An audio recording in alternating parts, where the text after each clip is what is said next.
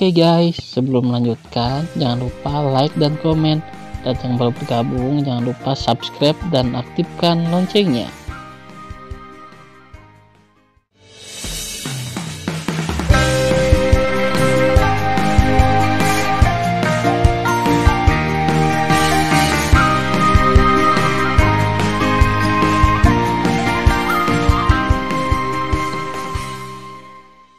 Episode 337 Ding Sixin menatap pil ungu di tangannya, tubuhnya bergetar, dan dia dengan jelas mengenali bahwa itu adalah pil Zun pembunuh jiwa. Dia menggelengkan kepalanya dan menatap penatua ke-6 dan berkata, untuk murid, bahkan jika dia membunuh Tan Yun setelah minum pil ini, murid itu tidak akan bisa menakan ranahnya lagi. Enam tetua, tidak masalah bagi murid untuk membunuh Tan Yun dengan arogan. Penatua ke-6 mengangguk, ya, kamu bisa memutuskan bagaimana melakukannya. Terima kasih enam tetua, Ding Sixin berkata dengan hormat, dan tiba-tiba kembali menatap Tan Yun, kamu pengkhianat, kamu sudah mati. Tan Yun menutup telinganya, dan berkata dengan ringan, demi kamu sebagai seorang wanita, kamu bisa bunuh diri sendiri. Beri kamu tiga napas waktu untuk mempertimbangkan. Setelah tiga napas, kamu tidak punya kesempatan untuk bunuh diri. Mencari kematian, mata Ding Sixin penuh dengan cahaya dingin, tiba-tiba terbuka. Sebotol kuali darah hitam yang membangkitkan jiwa naik dari mulutnya, membumbung tinggi dalam kehampaan sejauh seratus kaki. Segera setelah itu, garis-garis berkelok-kelok di kuali darah penangkap jiwa tampaknya memberi kehidupan padanya, meluncur di permukaan kuali dengan kecepatan tinggi, meledakkan tirai cahaya berdarah besar. Kuali darah yang menangkap jiwa itu seperti lingkaran matahari yang berwarna darah, memancarkan cahaya berwarna darah yang menyilaukan, menutupi Tan Yun di bawahnya. Ketika mata Tan Yun diterangi oleh cahaya yang menyerap jiwa, dia tiba-tiba menjadi terdiam dan ekspresinya kusam. Kakak ipar, segera bangun. Sue Zian berteriak kaget. Murid-murid lain dari layanan berjasa juga gelisah dan khawatir untuk Tan Yun. Sue Zian, jangan berteriak, Bahkan jika kamu mematahkan tenggorokanmu, Tan Yun tidak akan bangun.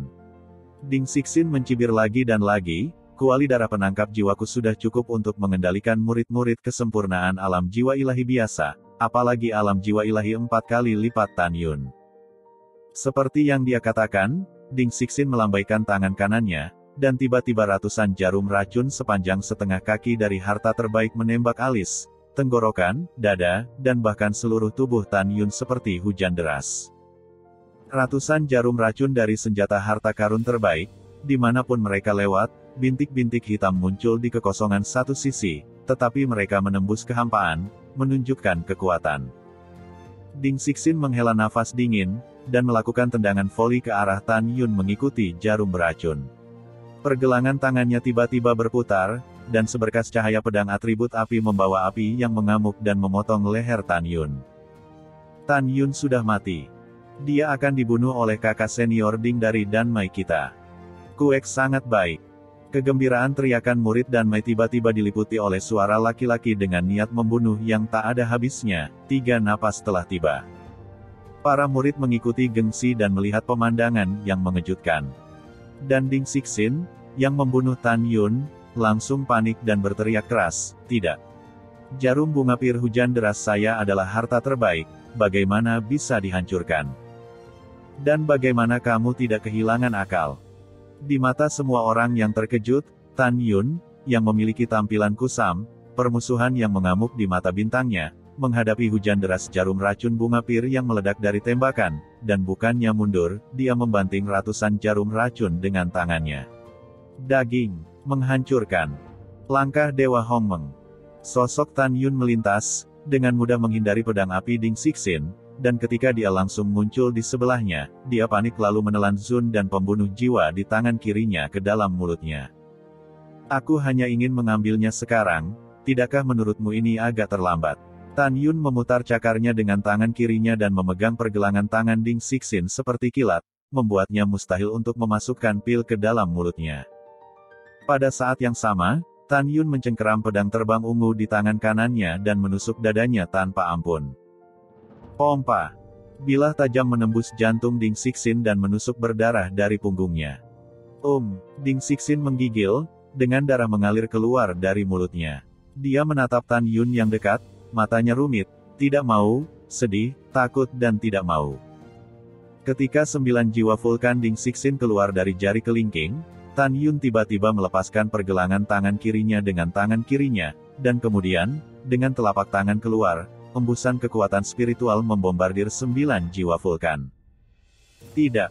Sembilan jiwa vulkan atribut api dihancurkan dan runtuh dalam keputusasaan. Berdebar. Tan Yun perlahan menarik pedang terbang dari dada Ding Sixin dengan tangan kanannya, dan mayat itu jatuh lemas dalam genangan darah, dan pembunuh jiwa di tangannya berguling ke kaki Tan Yun. Pada saat ini, ekspresi Tan Yun tenang dan menakutkan. Dia melihat enam tetua di pavilion, mengangkat kaki kirinya dan menghancurkan pil pembunuh jiwa berkeping-keping.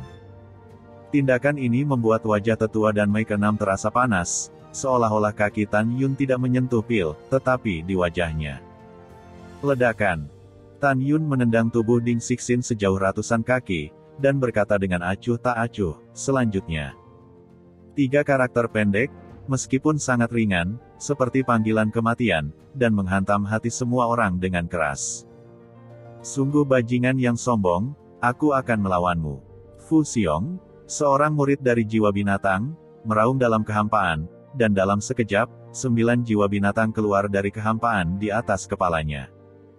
Di atas sembilan binatang dan roh, ketika hantu naga banjir berkepala sembilan yang panjangnya ratusan meter muncul, langit melonjak. Hantu naga berkepala sembilan dan sembilan roh binatang dalam angin menderu menembus alis Fusiong. Segera, kekuatannya meroket sembilan kali. Napas yang sebanding dengan kesempurnaan agung dari alam jiwa ilahi melonjak keluar dari tubuhnya, membuat radius seribu kaki kosong dan merangkak. Itu penuh dengan retakan di ruang angkasa yang panjangnya ribuan meter. Wow! Dengan raungan yang dalam seperti naga, Fusiong meletakkan tangan kanannya di belakang lehernya, kelima jarinya menembus kulit, dan berdarah dari tubuhnya dia mengeluarkan senjata tulang senjata kelas rendah yang terbuat dari tulang naga. Tombak tulang tiba-tiba menjadi sepuluh kaki panjangnya di tangannya, dan ada auman naga yang tak ada habisnya di dalamnya, yang mengejutkan orang dan membuat sebagian besar murid ketakutan. Tan Yun menatap tombak tulang, mengerutkan kening, ekspresinya semakin dalam, dan berkata, jika saya belum melihatnya, tombak tulang ini disempurnakan dari tulang belakang naga yang baru lahir tahap kelima. Dan juga mengolah 30% dari kekuatan iblis dari naga banjir ke dalam tombak tulang. Kemudian Anda memasukkan senjata tulang ke dalam tubuh Anda dan memberinya makan dengan darah, untuk mencapai keadaan di mana jiwa Anda dan senjata tulang terintegrasi. Dengan cara ini, Anda bisa mengerahkan 30% kekuatan perangkat yang lebih rendah, tetapi sekarang Anda dapat mengerahkan 60 hingga 80% kekuatan.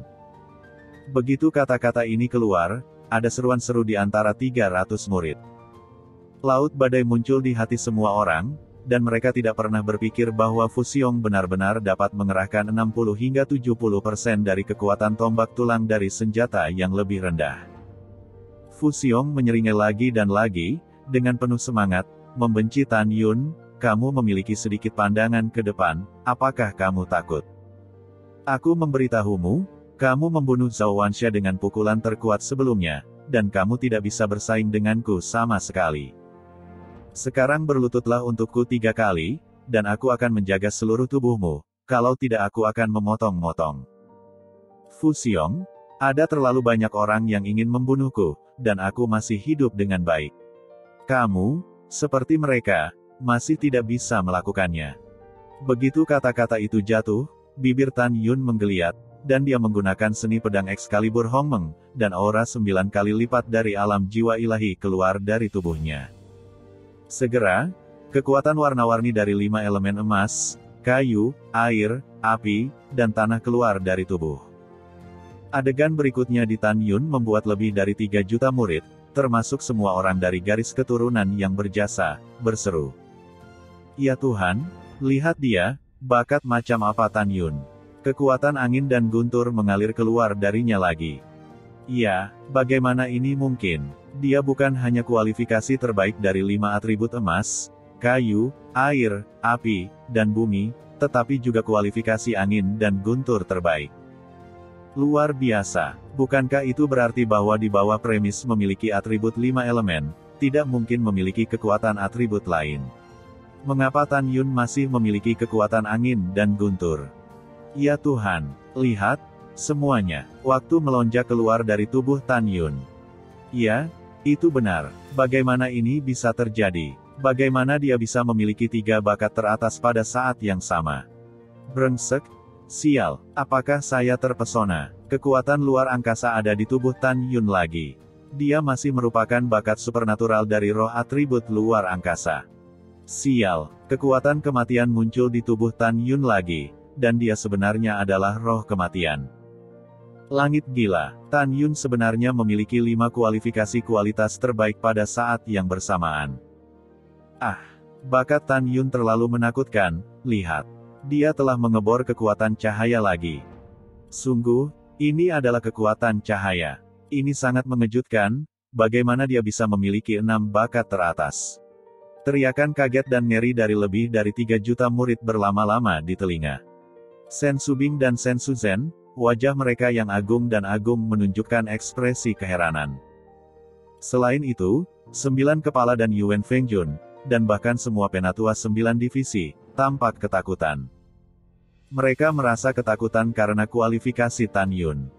Seperti yang kita semua tahu, tipe pertama, memiliki lima atribut emas, kayu, air, api, dan tanah pada saat yang sama, adalah kualifikasi tertinggi. Tipe orang kedua dengan atribut ganda angin dan guntur juga merupakan kualifikasi terbaik. Jenis atribut binatang ketiga juga merupakan kualifikasi terbaik. Tipe keempat dari memiliki atribut kuno juga merupakan kualifikasi terbaik. Dan dua dari empat bakat terbaik ini tidak dapat muncul pada orang yang sama, ini adalah sesuatu yang semua orang tahu. Selain itu, empat atribut waktu, ruang, kematian, dan cahaya tidak dapat muncul pada satu orang pada saat yang sama dalam kognisi setiap orang. Tapi sekarang, Tan Yun memiliki 11 atribut lainnya kecuali atribut kuno dan atribut binatang. Sungguh adegan yang gila. Kualifikasi seperti itu tidak bisa lagi digambarkan sebagai penjaga langit. Apakah dia manusia atau penjahat? Feng Qingcheng, kepala formasi gerbang suci, memicu gelombang mengerikan di dalam hatinya. Kualifikasi Tan Yun sangat menakutkan, jika dia tidak mati hari ini, lelaki tua itu harus memikirkan metode lain. Kepala jiwa binatang suci Duan Qiong, niat membunuh berkecamuk di matanya yang berlumpur. Bagaimanapun, lelaki tua itu harus menyelesaikan perintah Tuan Istana Suge. Kepala pintu suci Xie Chen, lelaki tua botak ini, gemetar dengan tangan kanannya, terus membelai kepalanya yang seperti suar, hatinya seolah tenggelam ke dasar laut, jika Tan Yun tidak mati hari ini, aku akan kehilangan 30 miliar batu roh terbaik. Saat itu, para leluhur pasti akan mengulitiku. Pada saat yang sama, Gong Sun Yang Chun, kepala gerbang suci Danmai, tubuh tuanya sedikit gemetar, dan dia juga panik. Pada saat itu, dia bersumpah dan memberitahu senior klan emas bahwa Tan Yun pasti akan mati. Senior klan emas hanya mengeluarkan 30 miliar batu roh terbaik dalam jumlah besar. Dia terus bersila dalam pikirannya. Batunya kalah, akibatnya resiko ditanggung sendiri, kata-kata. Su Daosheng, Kepala rune pintu suci di kursi pavilion, tiba-tiba berdiri, dan berseru, enam bakat teratas dikumpulkan bersama. Tan Yun, apakah kamu manusia? Pada saat yang sama, Tantai Xuanzong, yang berdiri di langit di tengah lautan awan yang luas, gemetar hebat, kejutan, kejutan besar. Menantu Raja masa depan, kamu benar-benar menantu luar biasa. Di sisi Tantai Xuanzong, Seorang lelaki tua berjubah hijau tipis di lautan awan mengepul keluar dari udara tipis. Orang ini adalah ayah dari Tantai Xuanzong dan penguasa sebelumnya, Tantai Yu. Ayah, apakah kamu melihat bakat Tan Yun? Tantai Xuanzong berkata dengan penuh semangat seperti anak kecil, anak saya tidak pernah tahu bahwa bakatnya melawan langit. Lihat, aku melihatnya. Suara Tantai Yu bergetar sangat parah, cucu menantuku, itu benar-benar membuka mataku. Setelah itu, Tan Taeyu berkata dengan ekspresi yang sangat kuat, Xuanzong, ingat, jika cucu menantu saya kalah oleh musuh, bahkan jika itu melanggar instruksi leluhur, kamu harus menyelamatkan saat dia mau terbunuh. Hanya cucu menantu yang tidak mati, Huang Fusengzong cepat atau lambat akan terbang ke langit, bahkan melampaui kecemerlangan leluhur ketika dia masih hidup. Tante Xuanzong mengangguk, ayah aku mengerti. Ngomong-ngomong, kamu harus memperhatikan satu hal lagi. Tante Yu berkata dengan makna yang dalam, setelah hari ini, mata-mata dari kekuatan utama yang mengintai di sekte kita, pasti ada seseorang yang ingin mengambil seorang murid seperti Tan Yun. Jika mengambil itu tidak berhasil, dia pasti Tan Yun akan dibunuh dan dia tidak akan diizinkan untuk hidup melawan orang seperti mereka. Jadi, Anda harus mengambil tindakan pencegahan secara rahasia, dan melindungi keselamatannya sambil memahami kepribadian Tan Yun secara menyeluruh. Selain itu, bakat Tan Yun pasti akan membuat semua orang suci dan orang suci di divisi lainnya merasa terancam dalam pemilihan raja berikutnya. Mereka pasti akan mengambil tindakan untuk menghadapi Tan Yun. Anda harus mengatur semua ini dengan benar. Singkatnya, jika Tan Yun benar-benar tertarik pada orang lain, maka bunuh dia. Jika Tan Yun tetap tidak tergerak oleh kekuatan besar, maka lindungi keselamatannya. Dalam kehampaan di luar platform kehancuran, Fusiong ketakutan dengan bakat Tan Yun melawan langit. Apa yang kamu lakukan dalam keadaan linglung? Menunggu dia membunuhmu. Bagian atas pavilion berteriak pada Fusiong, cepat bunuh dia untuk kepala ini. Itu ketua. Setelah Fusiong dengan hormat menerima perintah, rambutnya menari-nari liar, memegang tombak tulang ke arah Tan Yun yang berada di tahap kehancuran, terbang dengan kecepatan ekstrim, dan berteriak, pengorbanan darah. Jiwa terbakar. Tiba-tiba, jiwa jauh di dalam pikiran Fusiong mulai terbakar. Saat jiwa terbakar, Fitur wajahnya dipelintir seperti hantu, dan tombak tulang melengkung di tangannya sering bergetar, seolah-olah dia akan lepas kendali kapan saja. Saat jiwa terbakar dan darah mengorbankan tombak tulang, tiba-tiba, tombak tulang di tangannya berdengung dan bergetar, membuat raungan yang sepertinya berasal dari zaman kuno. Kekuatan yang menghancurkan langit dan bumi meletus dari tombak tulang, menyebabkan celah besar di ruang muncul di ruang luas. Membunuh. Kemarahan Fusiong bergema di langit, dan tombak tulang di tangannya berputar, dan tiba-tiba berubah menjadi seribu kaki di kehampaan, seperti tombak gunung yang dibanting ke Tan Yun. Dan dengan kuat mengunci Tan Yun ribuan kaki di bawah.